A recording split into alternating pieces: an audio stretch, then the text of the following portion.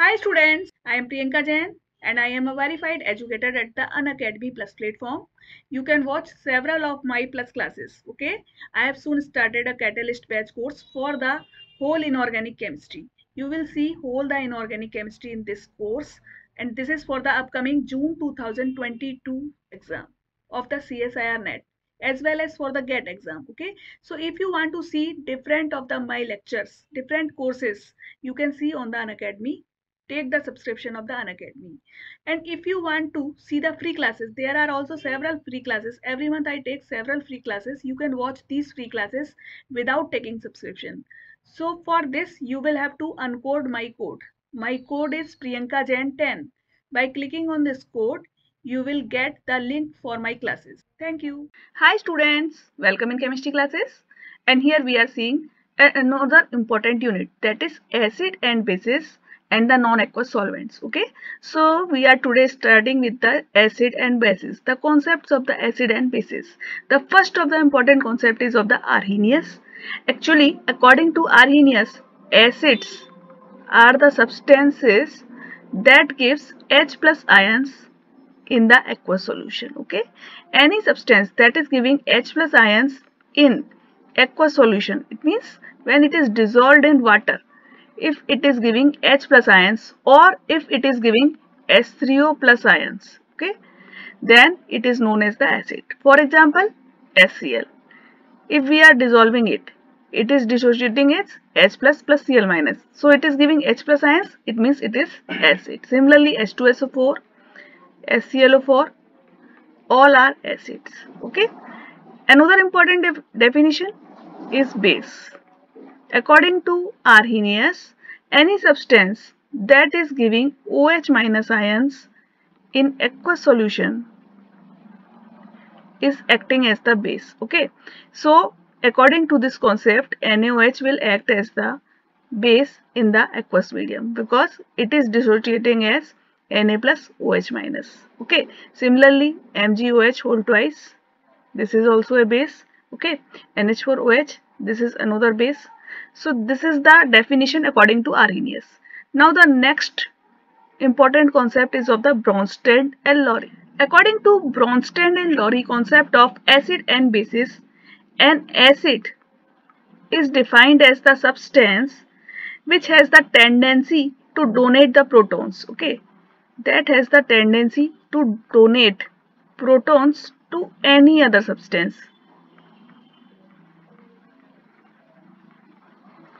okay.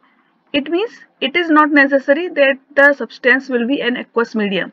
It is not compulsory that an acid will give the H plus ions in the aqueous solution. Any any substance if it is giving the protons to any other substance then it is acting as the acid. Okay. Similarly a base.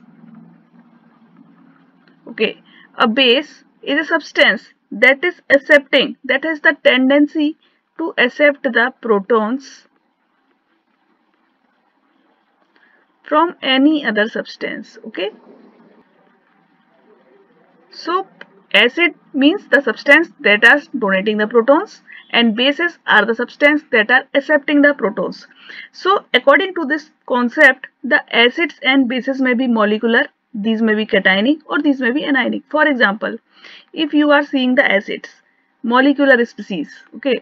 If you are seeing the molecular species then HCl H2SO4, HNO3 and HClO4, CH3COOH and H3PO4. These all are acting as the acid. Why? Because these are donating the protons. Similarly, cationic species. The cationic species also gives the H plus ions like NH4 plus Al H2O whole 6 plus 3 okay. So these are also acting as the acids. Okay. Now see the bases.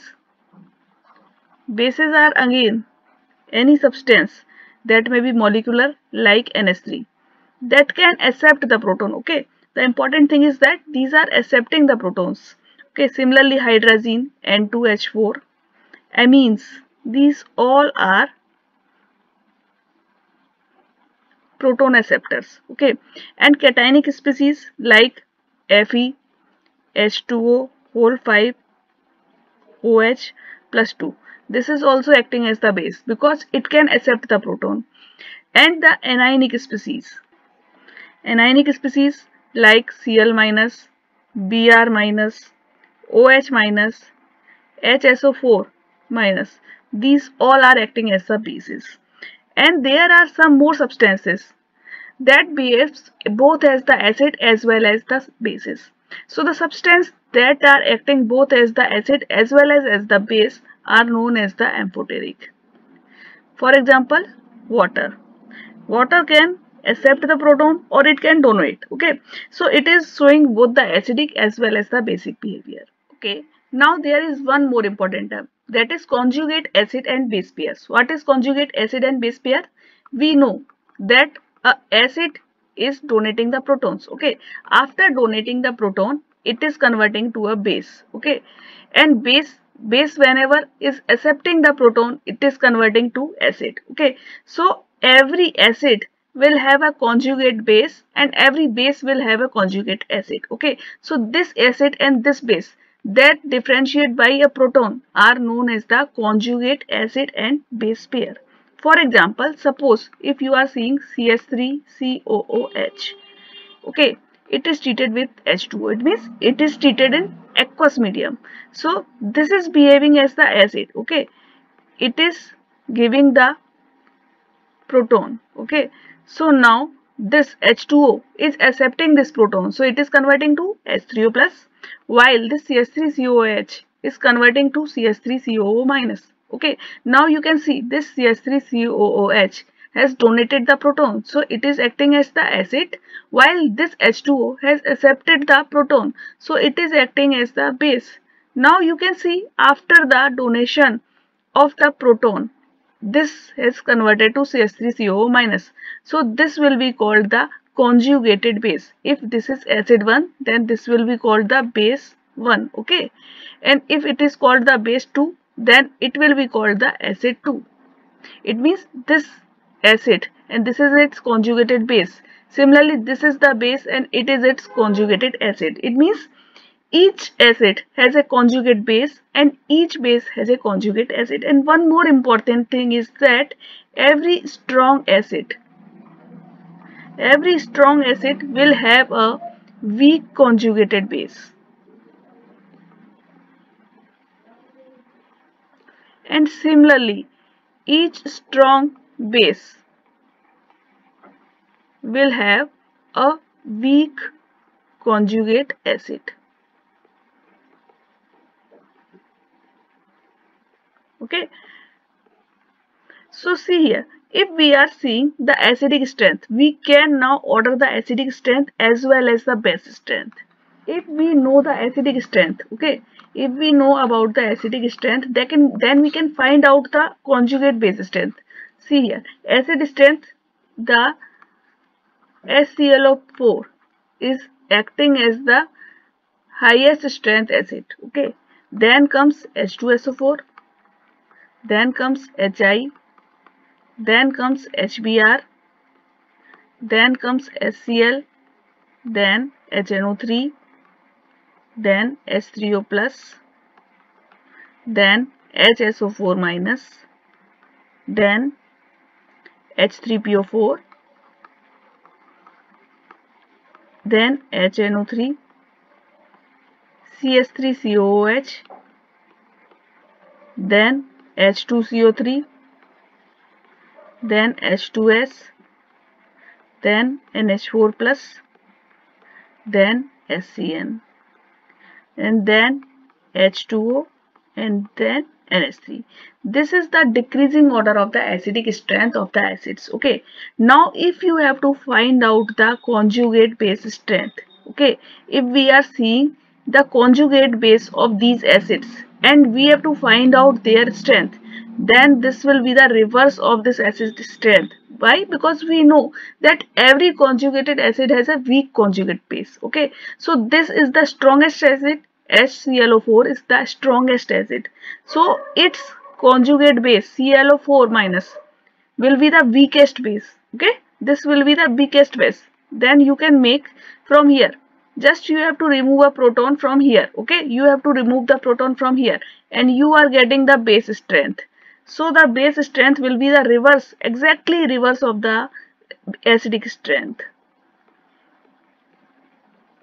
Like this okay? So if you know the simple ratio simple order of the acid strength then you can find out the strength of the conjugated bases. Like this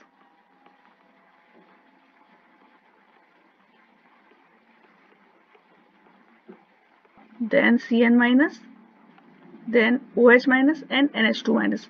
Now you can see that NH3 here is the NH3 is the weakest acid and now NH2 minus is the strongest base. Okay.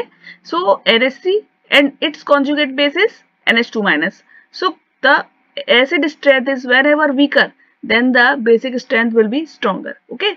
This is the simplest concept of Bronsted and Lowry concept. Okay. Okay. Now we see the Lewis concept of acid and bases. According to the Lewis, the acids, acids are the electron pair acceptor. Any substance that is accepting the electron pair, okay, is acting as the acid. Okay. Similarly, bases, bases are the electron pair donor. Okay. So any substance that is donating the electrons, okay, will act as the base okay? So this was the simplest definition. Acids are the electron pair acceptor and bases are the electron pair donor okay? So if we are seeing the lewis acids these are called the lewis acids okay? So what are the properties of lewis acids? All the cations. All the cations have tendency to accept the electrons. Okay? All cations will have the tendency to accept the electrons. So they are acting as the acid. It means all the cations will act as the acid. Second point small cations. Small cations means like H plus like lithium plus like Be plus 2 these all act as strong Lewis acid. It means the smaller cations will act as the strong Lewis acid. Why? Because they have the tendency to accept the electrons from the strong bases. Okay, these are accepting the electrons from the strong bases. So these are acting as the strong Lewis acid. Similarly, the larger cations Larger cations means Na plus, K plus or Ca plus 2. These all are acting as weak Lewis acid because these are accepting the electron pairs from the weak bases. Okay. Next point is higher the charge on the cation. If the cation has higher charge, then it will have more tendency to accept the electrons right? If it is having the higher charge higher positive charge then it will have the low electron density. So it will have the more tendency to accept the electrons. Okay. So these will act as the more acid. Okay. This will act as the hard acid right? So we can say Fe plus 3 if we are comparing the Fe plus 3 and Fe plus 2 then Fe plus 3 is having the higher charge. So Fe plus 3 will be stronger acid than Fe plus 2 similarly Sn plus 4 will be stronger acid than Sn plus 2 okay. Next thing is that the electron deficient compounds. Electron deficient compounds means whenever there is the less electrons as, as they required by the valence shell like BF3, like AlCl3, these are having the less electrons than they require for completing their octet. Okay, these are having the less number of electrons. So these are the electron deficient compounds. So these all compounds act as Lewis acid. why because they have the less number of electrons and they need it okay so these are behaving as the Lewis acids for example if we are treating BF3 with F minus then it is forming BF4 minus. It means it is accepting the electron density okay? Similarly the molecules in which central metal have vacant d orbital okay if they are having the vacant d orbital then they can expand their octet okay? They will have the tendency to accept expand their octet. They can expand their octet. So these are also behaving as the Lewis acid. For example, SiF4, SnCl4, SF5, SO3. These all are acting as the Lewis acids. Okay. For example, you can see if you are taking SbF5. Okay. If you are treating it with the F minus, then you are getting SbF6 minus. Okay so any substance that is accepting the fluoride ion okay or that is accepting the electron density that is acting as the Lewis acid okay okay so what are the Lewis bases Lewis bases are the substances that have the tendency to donate electrons okay all the substances that have the tendency to donate the electrons will act as the Lewis acid. Okay, so in general, they should have a high electron density that can be donated. So what type of compounds will act as the Lewis bases? For example, all the anions which have tendency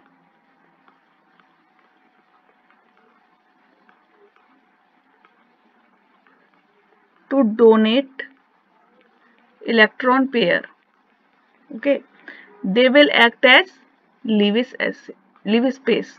Okay, all the anions that have tendency to donate electron pairs. Okay, for example, OH minus. This is having negative charge. Cl minus. Okay, Br minus. These all are having the negative charge. It means these are having the electron density. So they can donate this electron density to some other substance. Okay, so they are acting as the Lewis bases. Greater the charge, stronger will be the Lewis base. Okay. Similarly, molecules having lone pair of electron. They also act as Lewis base all the molecular species that are having the lone pair of electrons that can be donated will act as the Lewis base like NH3 this is acting as the Lewis base okay. All the amines that are having the electron density that will act as the Lewis base right. Similarly alkenes and alkynes. Okay alkenes and alkynes these are having the pi electron density okay? These are having the pi electron density and this density can be donated to the substances like metals okay? These can act as the ligands. So these are acting as the Lewis bases okay? So it means now there are categories. Lewis bases can be anions can be molecules or these can be alkenes or alkynes that are having the pi electron density so these all substances are acting as the Lewis bases. Okay. So this is the general concept about the Bronsted and Lowry, about the Lewis acid and bases and about the Arrhenius concept.